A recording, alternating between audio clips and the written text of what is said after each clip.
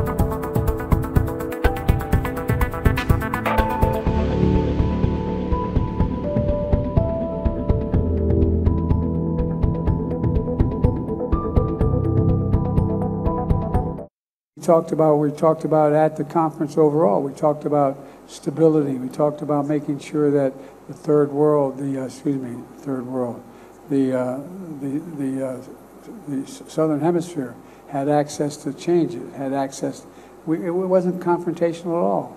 You came up Thank, thank you, everybody. This ends the count press thank- conference. Thanks, everyone. Thank you. Thank you.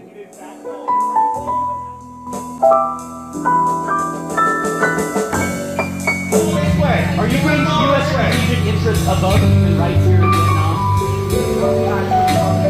I've raised it with every person I've met with. Mr. Mr. President, President, are you worried about your son being indicted, Mr. President?